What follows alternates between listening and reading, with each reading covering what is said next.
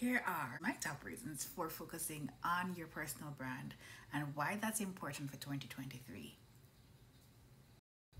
First thing, let's start by defining what a personal brand is. And that is really the idea of communicating your value, your beliefs, your traits, your essence, right? And your attitudes to an audience that may not already know you. So you're building awareness of who you are, what you're about, the things you're into, the things you're not about, really trying to define that for people. Number one, the reason why you want to build a personal brand and focus on that for 2023 is you want to be able to build a large client base. One of the biggest problems in business is really not having enough clients to propose to. The greater the amount of leads, the greater the amount of clients that you're going to be able to convert. Not enough leads, not enough conversions. Focusing on your personal brand with number two allow you to have the freedom to be able to preserve the conversations around you. If you're not existing, if you're not aware, if you're not available in the marketplace to talk on social media, then you kind of don't exist. So you also have the chance to preserve the integrity of your career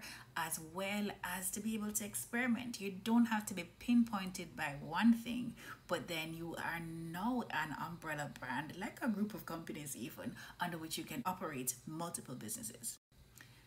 Number three, creating and focusing on, a personal brand allows you to build greater confidence among your audience and even to while you're developing a new audience and a greater audience. So if people have confidence in you, then they're gonna be able to trust you more. People don't do business with people they don't like. So you want to be able to do that so that you will be able to build trust with people and scale your business.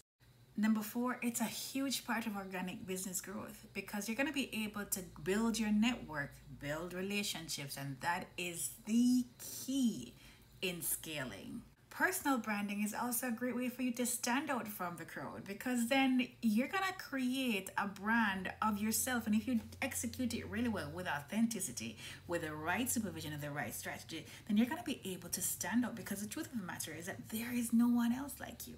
So why are you positioning yourself like everybody else? And this is my favorite. Personal branding allows you to polish all your skills, those latent ones, those that need to be honed, those things that are really necessary in order for you to execute with excellence. Follow these tips and shine in 2023 in business and in life.